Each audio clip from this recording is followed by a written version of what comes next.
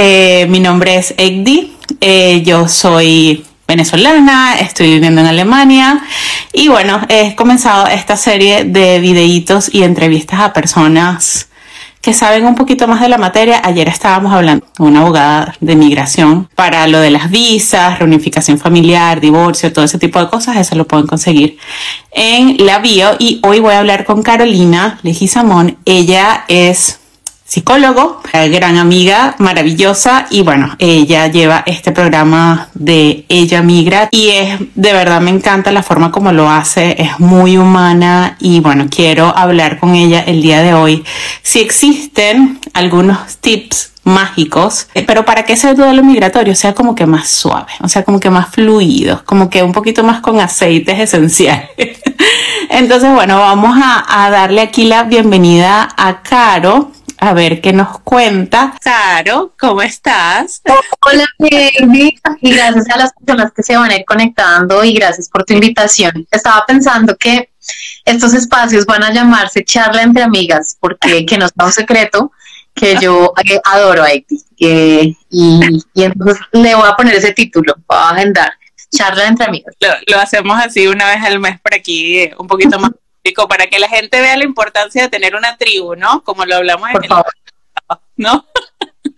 ¿Cómo estás, Caro? ¿Cómo, ¿Cómo te encuentras? ¿En qué parte del mundo te encuentras? Cuéntame. Me encuentro transitando en el último tiempo entre un lugar y otro. En este momento estoy en Bogotá. Eh, así que, bueno, aquí estoy. Bueno, este, tú llevas un programa que se llama Ella Migra, porque bueno, hay muchas personas que se están conectando. Este, y bueno, en vista de que me imagino que sabes mucho más del tema, yo lo he vivido, tú también, eh, pero me gustaría saber si existe alguna fórmula mágica, la cual no, sabemos que no existe, pero alguna em, información que nos puedas dar, sobre todo a esas mujeres porque en mi comunidad existen muchas mujeres que están planteándose la idea de venirse a Alemania o cualquier otra parte del mundo porque se han casado con su príncipe azul y están en proceso de migración, están esperando, o hasta esas personas que no es que se vienen casadas, sino que se vienen con una visa de trabajo y pasar por ese duelo migratorio, o sea, llamarlo así, a mí no me gusta mucho llamarlo de esa forma, es como, wow, sí, es, es un duelo, porque estás perdiendo, estás quitando piel y estás cambiando, estás regenerando, estás evolucionando.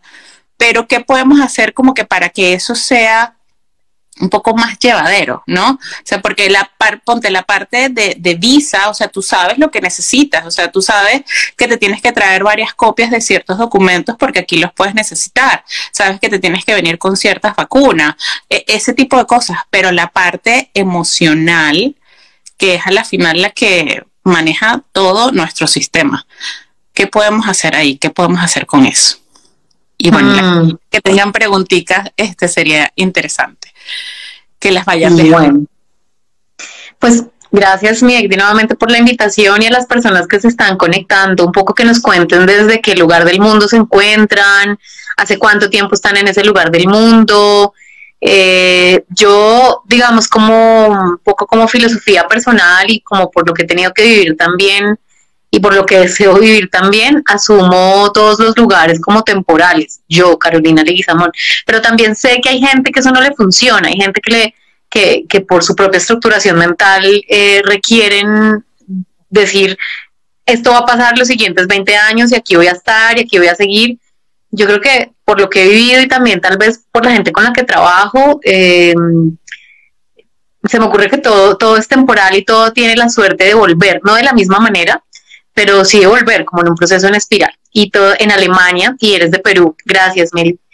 Eh, y creo que, mm, y creo que en, eso, eh, para responder esa pregunta no fácil, ese contexto no fácil que me planteas, pues hay que decir que somos hijos, hijas, los seres humanos, las personas de la migración, ¿no? De contextos de migración eh, en general, ¿no? En, el, eh, en toda nuestra historia humana y de civilización es puro entrecruce de culturas, de genes, en fin.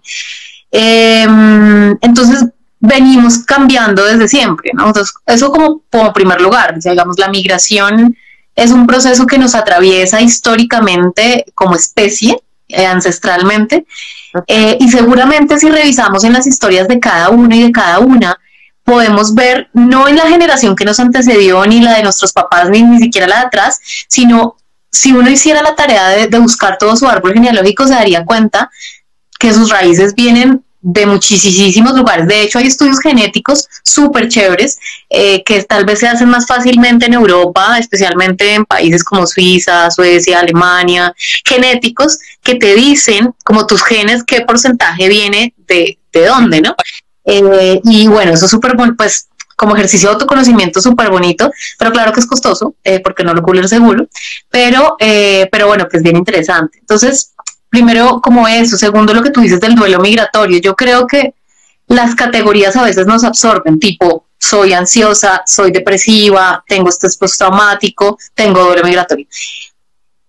Entonces yo invito a que le llamemos a esa sensación como queramos, o en estos días hablábamos con una consultante y a mí yo como que leía su momento y, y su momento se llama lo innombrable, porque a veces de verdad que no tenemos palabras o no queremos llamarla así y no tenemos por qué llamarla así. Sin embargo, ponerle palabras a las cosas también es importante para que existan y para que no tengan un poder supremo sobre mí. Es decir, si yo pongo en un contexto en donde lo que estoy sintiendo es dolor migratorio, pero yo no soy dolor migratorio, lo que estoy sintiendo es ansiedad, pero yo no soy ansiedad, eso me va a ayudar como a ir discriminando herramientas y si no me ayuda en lo emocional, créanme que el cerebro le ayuda a nombrar las cosas para darles un contexto, no para que se solucionen. Entonces, eh, yo tengo un ejemplo un poquito claro de eso, ¿no? Que menciona, es con, o sea, yo sufro del síndrome premenstrual y yo antes de venirme, eh, de emigrar, yo no lo sabía, yo pensaba que yo era simplemente una persona muy emotiva y muy emocional, pero no, le aprendí a colocar ese nombre, ese título y ya yo depende del ciclo menstrual en el que me encuentre, entonces ya como que lo, lo catalogo un poquito y me siento no me siento tan culpable, simplemente es parte de mí, ¿no? Tal cual, o sea, como nombrarlo es importante, nombrarlo nos da un contexto, nombrarlo nos da un poder sobre el evento, no necesariamente para solucionarlo ya, pero nos da el poder de decir, bueno, estoy frente a esto o estoy metida en esto. ¿Qué va a pasar? No lo sé, pero, pero nos da un poder de sacarlo de nosotras mismas, de, y otra vez, cuando es difícil nombrarlo o cuando no me hace sentido esto que estas viejas me dicen y yo no quiero llamarlo duelo migratorio, está bien, pero sí invito a que le pongamos una categoría, un nombre. Y a veces ese nombre, al no ser duelo migratorio, puede ser el, el nombre, puede ser el nombre de otras circunstancias o personas que me recuerden la sensación que estoy sintiendo. Yo cuando fue que sentí este vacío con tal fulanito, con tal fulanita en tal situación, eh, las voces que tenemos en la cabeza, como nombrarlas, ¿no? Como que llegó otra vez esta situación y ponerle un nombre. Por acá nos decía Lau, que está en Alemania y es de Colombia. Entonces, gracias, gracias también por, por estar acá. Eh, entonces, exacto, e, es un nombre, ¿no? Y como tú bien lo dijiste, ya lo hemos dicho muchas veces, creo que esto no, no, es, no es una novedad en general para, para nadie, porque es un conocimiento que ha estado como circulando muchísimo en los últimos años, es que el duelo es la elaboración de una pérdida. El duelo se llama la evaluación de una. Ahora, una cosa muy importante es que normalmente todo el mundo dice, bueno, todo el mundo no, pero mucha gente dice, el duelo tiene estas fases. Y la teoría sobre la cual se establecieron esas fases fue un proceso de investigación y acompañamiento a personas con cáncer terminal, con diagnóstico de cáncer. Entonces, lo que también quiero decir con esto es que que, a ver, que son fases que le aplican seguramente a, a, muchos tipos de duelos, es también importante Mm, ver de dónde vienen esas cosas, porque yo he vivido muchos, pues algunos duelos importantes y a veces no cabían en esas fases. Entonces es importante saber que esa teoría sobre la cual esas fases se establecieron respondía a un contexto de gente muy particular que estaba pues viviendo y sufriendo una vaina tan difícil como es convivir eh, con un diagnóstico de cáncer. Pero esto también para decir, lo que sabemos es que el duelo es la elaboración de una pérdida. Y normalmente los seres humanos queremos que las cosas cambien los resultados cambien, pero no que nuestras circunstancias cambien. Eso suena rarísimo. Es decir, yo quiero sentirme eh, bien, pero yo no quiero, o sea, ese tema es el intocable. No, no quiero hablar de eso. Yo quiero, em, no sé, eh, que mi circulación. Sí, Dime. llevándole la parte más superficial, ¿no? O sea, quiero tener un cuerpo fit, pero bueno, quiero seguir comiendo de la misma forma, ¿no? Eh, Por ejemplo, quiero que mi circulación esté mejor, pero me da pereza caminar. Quiero que, que mi pareja, eso pasa muchísimo en las parejas, en las parejas nos enfrascamos mucho en la neurosis de, de, de, que el otro cambie porque se supone que así va a estar mejor. La fantasía del neurótico es que, es que todo el mundo tiene que cambiar menos yo. Pero eso está en la base de todos y de todas. Yo lo decía en un post hace poco y es que le tenemos miedo al cambio, ya sea porque sabemos que nos va a implicar una pérdida, un dolor, o porque de pronto puede venir algo mejor. Pero pues a la larga en el cerebro, en, ese, en esa necesidad de control es mejor, ay, mejor que no venga algo mejor. no sé, mejor quedémonos como estamos. Entonces, para decir, el duelo es la elaboración de la pérdida y cada vez que cambiamos una estación, un momento, un escalón de nuestra vida, hay una pérdida. O debe haberla porque es que si no la hay, en esencia no es cambio. No hay evolución, ¿no? no, hay evolución. Bueno, yo eh, pensando en este live, una de las cosas que, por ejemplo, yo apliqué y que creo que, bueno, tú me dirás si qué tan factible es o no, es venirnos con cero expectativas, ¿no? Montarnos en ese avión con cero expectativas, pero que fue lo que hice cuando yo emigré, por ejemplo, de, como au pair, de Venezuela para los Estados Unidos. Yo no, yo no investigué nada de la ciudad donde iba, eh, nada, o sea, nada más a la persona, a la familia con la que iba a emigrar y con la que iba a vivir y ya, pero yo no sabía era el, nada, nada. Y la verdad no me sentí bien, o sea, obviamente hubieron cambios, me sentí tranquila, pero cuando emigré a Alemania casada, yo sentía de que esa persona iba a cuidar de mí, de que esa persona iba a, era el que sabía todo. O sea, yo no tenía que saber nada, así quisiera, porque él era el que lo sabía todo. Yo nada más tenía que decir ah, y él tenía que resolver. Y no es así. A la final me di cuenta de que yo también tengo que salir y poner un poquito más de riendas en mi vida y actuar más por esa persona que quiero llegar a ser y no depender tanto de esa otra persona. Entonces creo que muchas, tú me dirás si lo has visto en terapia o no con otras personas, pero creo que muchas nos venimos como que ahí, o sea, nos venimos con el hombre y bueno, ya aquí estoy y lo que él haga, entonces ahí yo me voy y me siento triste y no sé por qué y él es el que tiene que resolverme porque sí, porque yo soy la latina y yo y yo no sé nada de nada. Como, como varias cosas también pensando en lo, en lo que hemos hablado previamente y ya nos dirán las chicas, las mujeres o los hombres si hay alguno por ahí que se vayan conectando, cómo lo han vivido. Yo conecto eso que tú dices con un concepto que no es un concepto, sino es una experiencia fundamental en la vida de las mujeres, que es la autonomía. Pero la autonomía no quiere decir no depender, porque es imposible no depender. Y ustedes me dirán, pero ¿qué te pasa si las relaciones saludables son las que no dependen una, una persona que dependa de la otra? No. Estoy hablando de que siempre va a haber una dependencia. Somos interdependientes. Esa es la diferencia que yo quiero hacer notar. No queremos que se, no, no, yo no deseo que seamos dependientes de, porque porque quien depende es como quien le cede el permiso de, vivir, de experimentar, de aprender, de cometer errores, de a otro, a otra, ¿no? Y, esa es una carga muy pesada para el que depende y, también para la persona que, pues, que supuestamente da todo. Es una carga pesada bidireccional. Pero entonces somos interdependientes. Esto quiere decir que yo sí necesito de otras redes, necesito, necesito, y de la calidad de esas redes, de la calidad de las relaciones de esas redes, de, la calidad de esas relaciones, de la calidad de esas redes, va a depender una cosa que se llama el bienestar. ¿Sí? Va a depender mi autoestima, mi autocuidado. De la calidad de mis relaciones, incluso va a depender mi salud mental. Porque mi diálogo interno puede ser súper empoderante, pero si ese diálogo interno no se conecta con los demás, es, eh, cae en un trastorno narcisista. Si ese diálogo interno no, se, no está bien como, como sincronizado, también puede caer en un tema muy de, de, como de, de, apatía, esta gente que se desconecta, esta gente que no yo, yo con yo, yo, y no está mal, yo no estoy hablando de características de personalidad, estoy hablando de entender que somos interdependientes. Yo sí necesito, y no, hay problema, necesito las relaciones, necesito de vínculos, necesito, los seres humanos somos una especie muy vulnerable, necesitamos de la naturaleza, necesitamos de otros y de otras. Desde que somos bebés hasta que tenemos 90 años, terminamos necesitando a otros y otras que estén con nosotros. Entonces, la primera claridad es, no hay que tenerle miedo a la interdependencia, sino a la dependencia. Lo segundo es que es imposible no tener expectativas. A veces nos dicen, vive la vida, ¿no? Más o menos como tabla rasa, acércate al mundo, encara lo que, pero por Dios, o sea, las expectativas es lo que nos moviliza.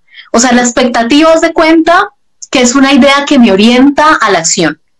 Ahora, el problema es que, o los problemas con la expectativa, es que esté tan orientada a la expectativa, a esa visión de futuro, de pareja ideal, de la mujer que voy a ser en Alemania, en Europa, en Suiza, en donde sea, ¿no? O de, en el caso, pues, que citas, eh, esté tan desconectada que no me esté dando cuenta que la vida está pasando aquí y que para que eso se dé, yo soy o debo ser parte activa de esa construcción, pero no porque quiera ser la pareja ideal, es que yo me quiero experimentar en pareja en bienestar. Mi, ¿Cuál es mi ideal de yo sentirme en pareja? ¿No? No si tenemos casa, hijos, perros, gatos, el mejor sexo, una estabilidad económica, eh, me encanta este personaje con el que decía ser pareja, no, no eso, sino yo cómo voy a participar activamente de eso y cómo voy a hacer yo experimentar ese mismo gozo y erotismo en, mí para poder construirlo con el otro, la otra. Entonces, el problema no es la expectativa, el problema es que la expectativa me saque de vivir el presente. Necesitamos expectativas. Si de entrada, para las personas que nos escuchan, no sé cómo les suene esto, porque no tienen por qué estar de acuerdo, por favor, pero si no les resuena, o sea, si, si de entrada yo no tengo expectativas, estoy dejando que el azar y la nada, te lleve. porque el azar incluso es algo, como que la nada moldee mi vida. ¿no? Entonces, no, entonces creo que la expectativa es necesaria. Ahora, vuelvo a retomar el punto de la autonomía, es porque mm, la autonomía no es algo sencillo. Yo sí creo que históricamente, y además pensemos en países donde todavía las mujeres no tienen opción y derecho a decidir sobre su cuerpo, sobre su sexualidad, sobre sus deseos, derechos en salud sexual y reproductiva, sobre su deseo erótico, sobre su profesión. Mm. El techo del cristal sigue existiendo, en fin, la autonomía es un issue, pero, em, pero pues digamos que si estamos en un contexto más o menos occidental, donde hayan ya ciertas luchas ganadas, yo creo que para esas mujeres que tú me planteabas que quieren migrar y que están por la pareja bicultural, por la pareja, por esto de reunificación familiar, yo lo celebro, ¿eh? O sea, hay que amar y, y la vida, el amor hay que encararlo sin chaleco antibalas, o sea, es decir, balas, no, a ver, entiéndame bien el concepto de balas, o sea, heridas y cosas duras nos van a tocar, pero, pero el amor es así, hay que, hay que ir con compañeros y compañeras que nos permitan encarar la vida como con total honestidad, sin chaleco antibalas el caso. Con eso es que la autonomía es algo que me corresponde y que yo construyo en la relación con los demás y donde yo sí tengo que ser una sujeta activa de eso. Y eso implica, en esto, es que me hacías, me haces pensar en muchas cosas, pero rápidamente para terminar, me hacías pensar en una chica joven, muy joven, o sea, yo no sé si puedo ser la mamá de ella, eh, así, demasiado joven, pues si quiere ir a, a España, ¿no?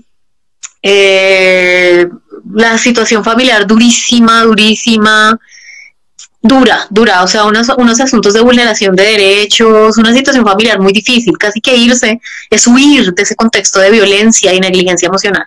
Ok, la, eh, está bien, está, está, entiendo ese punto. Se plantea la posibilidad de irse con un personaje que pues por ahora ya quiere, que conoce hace poco, pero parece estable, le da ese, ese amor que no tuvo en casa, le da ese motivo para vivir y para arriesgar pero ese es el motivo, no hay otros motivos diferentes. Y, yo le preguntaba, bueno, ¿qué sabes de España? ¿Qué sabes del lugar a donde vas a llegar?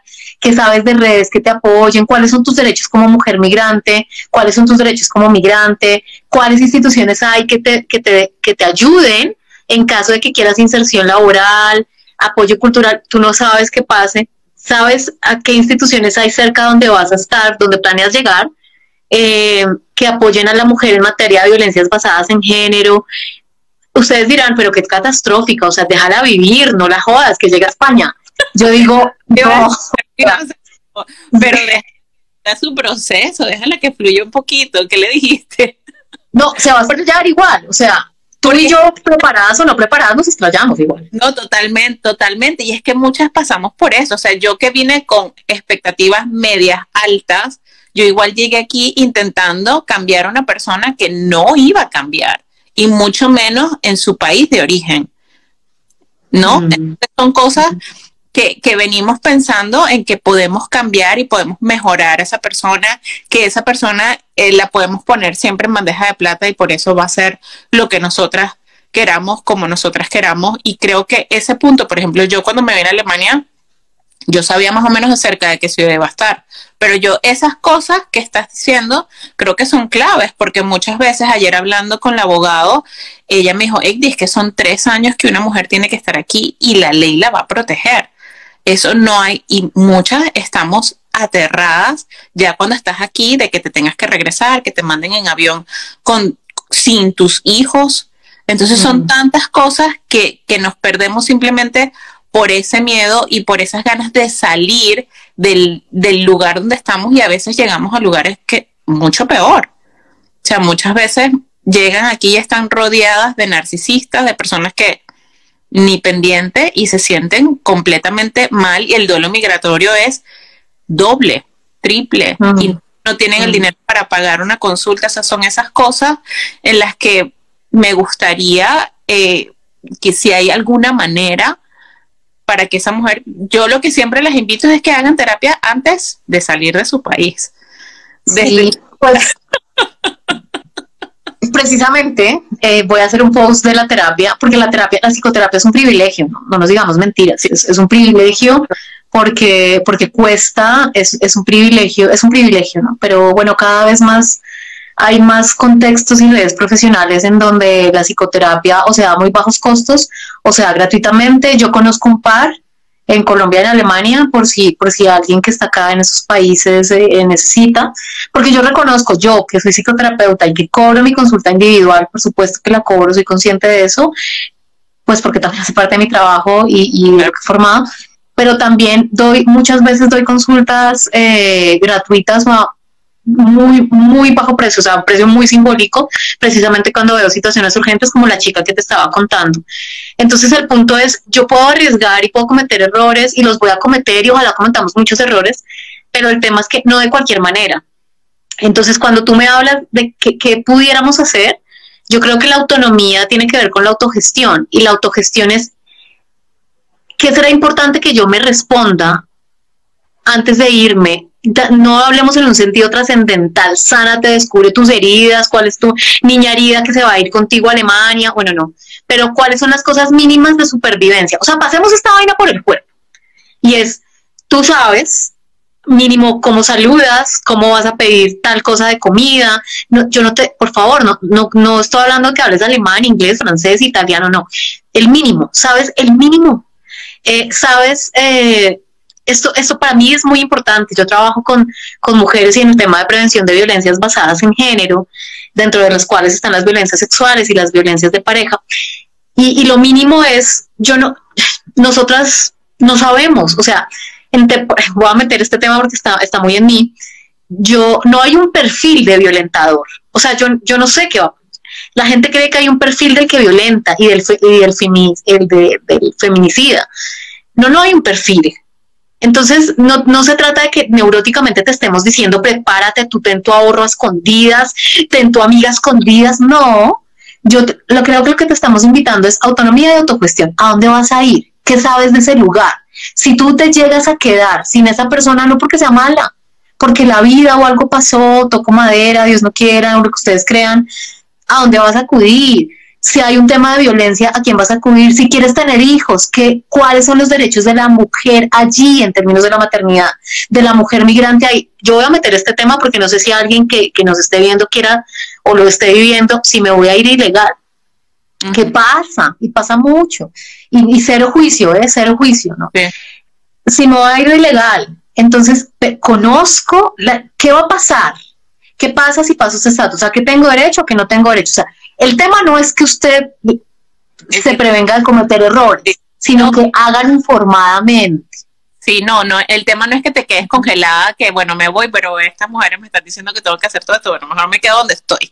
Esa no es la, la idea, la idea es eso, que se vengan entonces, para ya resumir e ir cerrando, la idea es entonces que se vengan que investiguen un poco sobre el país, que no se vengan sin expectativas, sino con expectativas claras, que trabajen en ellas. Eh, hablabas también de una red de calidad, ¿no? Por ejemplo, que mantengan ese contacto con amigas y personas, tanto en el país de origen como en cualquier otra parte del mundo, ¿correcto? Me encanta, eh, perdón, te interrumpo, pon eso en un post. Eso está, pues para mí está muy potente y es, el tema no es que, no es que te vengas sin expectativas, es trabaja en tus expectativas. No las tomes deliberadamente como, ay, que aprenda un idioma. No, trabaja en tus expectativas, con todo y que las expectativas cambien.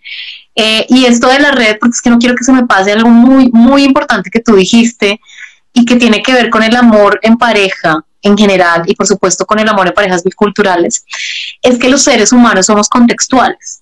O sea, no es que yo llegue, es que en Colombia sea una y en Alemania otra, y, y sí lo soy, es decir, no es porque sí, quiero decir. Hay, la gente también dice, en inglés me siento de esta manera, hablando en alemán de esta y hablando en español de esta, por supuesto, somos seres contextuales. Entonces, mujer, si no has convivido con tu pareja, mm. Eh, y te vas a ir a otro país a convivir con esa pareja, es decir, sí, pasearon, estuvieron en un, tú, no sé, me atrevo a citarte porque lo comentaste, ¿no? Y es, viví en Estados Unidos con esta pareja, pero cuando llegamos a Alemania, está sí, los seres humanos somos contextuales, entonces ojos, sentidos abiertos, corazón abierto, comunicación impecable, estar muy en ti, esas vainas de tu corazonada, tu intuición, tus redes, porque los seres humanos somos contextuales y por supuesto que vamos a ser diferentes. Entonces, y yo les invito a que se permitan conocer y construir una persona diferente, una pareja diferente, si cambian de país, si cambian, no hablo de la ética, ¿no? Tipo esto de cuidarnos, de amarnos, de respetarnos, no hablo de la ética, pero sí, las personas somos contextuales y, y prepárate, porque los contextos sí nos cambian. Si ustedes me conocieran a mí, hay gente que diría, no, pero yo te veo a ti y aquí, ¿por qué tan callada? Haití no sabe. Pues porque soy contextual, soy contextual. Entonces, eso pasa también en las parejas biculturales. Perdón que me extendí. ¿no? ¿Y qué herramientas, qué herramientas le darías a esa persona? O sea, sobre todo, eh, una de las preguntas era sobre el cuidado del amor, ese amor propio que esa mujer puede practicar.